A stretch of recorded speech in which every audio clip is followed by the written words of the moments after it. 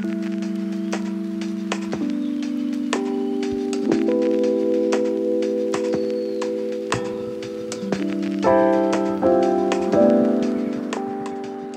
dia, hoje é sábado, meio-dia. É, tô indo no centro, vou comprar alguma coisa para comer. Ainda não almocei, tomei café bem cedo, mas ainda não consegui almoçar. Vou aproveitar para comer. Hoje tá um tempo, agora tá um tempo que eu gosto bastante. Tá frio, mas tá um sol bem agradável. Então vou aproveitar que não tá um dia comum de Inglaterra de tempo nublado. Então vou aproveitar para fazer um passeio, talvez conhecer alguns museus que tem aqui na cidade que eu ainda não tive a oportunidade de visitar. Vou aproveitar hoje.